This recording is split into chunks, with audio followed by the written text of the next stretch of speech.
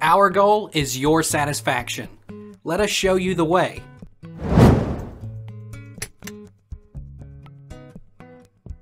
What if my TV does not have an optical output?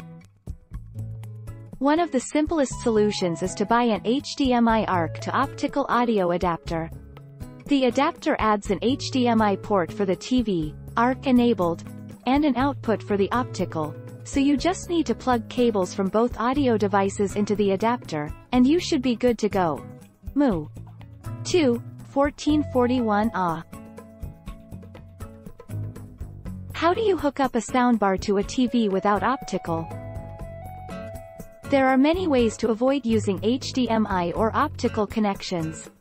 You can connect wirelessly with Bluetooth, or use a 3.5mm aux cable, RCA cables, or even an auxiliary device that converts coaxial cable to another kind of connection. Raj. 26, 1442 Ah. Take our lead. Let's help you make your mark.